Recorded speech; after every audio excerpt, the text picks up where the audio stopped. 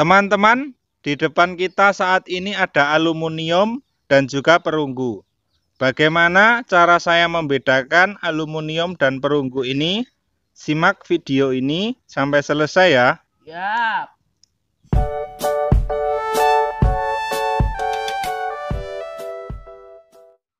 Teman-teman, aluminium itu berat jenisnya lebih kecil atau lebih ringan daripada perunggu.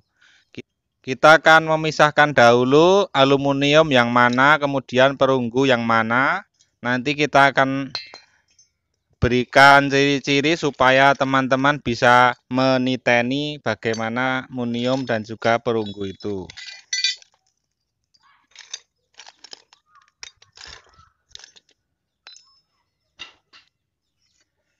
Ini ada dua jenis karburator. Ini aluminium sedangkan ini perunggu. Dari segi warna ini lebih putih sedangkan perunggu atau jadelan atau diral atau babit atau anhas ini lebih kusam. Dan juga ini kalau dipegang ini lebih berat. Arbumikuni Japan. Kalau ini keihin ini lebih ringan. Iya, iya. Dari segi rupa ini lebih kusem toh, ya toh. Kalau aluminium ini lebih cerah. Dari segi bobot ini lebih berat. Ini lebih ringan. Kemudian dari suara coba kita tutup. Tuk tuk tuh. Tuh. Tuk tuk ting ding. Tuk tuk ting ding. Uh. Coba keran ini coba keran iki nek ditutuk lak. Lho. Nyambuk beda kabeh Pak. Lho. Klunting ngono lho pokoke. Nek jadelan atau perunggu. Lho. Tek tek tek tek ngono kuwi. Jadi dari segi bobot itu lebih berat yang perunggu atau jadelan atau diral babit atau anhas sehingga menyebabkan suaranya itu lebih berat di bagian perunggu sedangkan aluminium suaranya lebih nyaring karena bobotnya itu lebih ringan. Sehingga suaranya mak klunding-klunding. Ya toh. Kemudian kita juga bisa meniteni apa saja bahan yang biasa berbahan dari perunggu atau babet ini yaitu handle pintu, kran, karbu, terus kontak kunci kontak sepeda motor, kemudian mainan anak seperti ini, ini banyak perunggu. Dari bahan-bahan seperti ini teman-teman nanti bisa meniteni.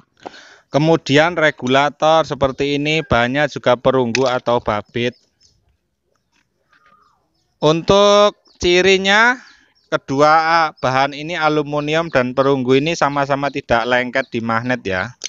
Tapi kalau masih ada kandungan besinya ya tetap lengket. Oh ini metu metu sekrupe ya mesti kelet. Iki enek osine ya mesti ya kelet tapi bahannya tidak lengket. Karbu ya ora lengket tapi besi-besi ini harus kita bersihkan juga ini kampas. Ini ora kelat. Ini ya banyak perunggu atau babek. Regulator ya ora kelet tapi di dalamnya ini ada pirnya dan karetnya ya harus kita lepas. Bagian besinya ya harus kita bersihkan. Oke teman-teman sekian tentang cara sederhana saya membedakan perunggu dan juga aluminium Pokoknya aluminium ini berat jenisnya lebih ringan, kalau babet atau perunggu itu lebih berat. Kemudian untuk warna aluminium itu lebih cerah, sedangkan untuk babet itu lebih kusem.